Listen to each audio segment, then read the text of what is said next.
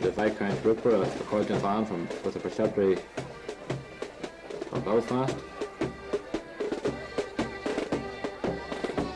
And they're just about, I think, to do the hokey pokey.